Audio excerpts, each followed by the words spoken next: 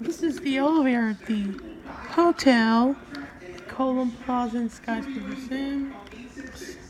We all know the banks of elevators. This is uh oh there, the button's over there.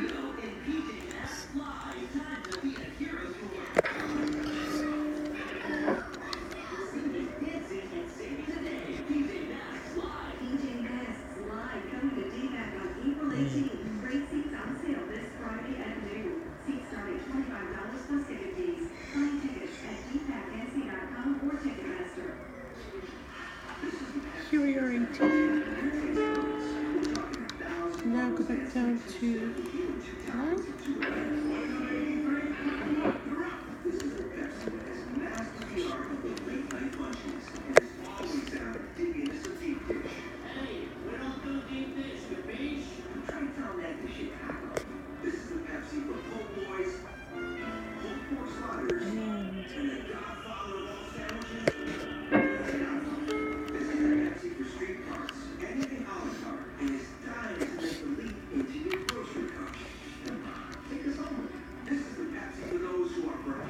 There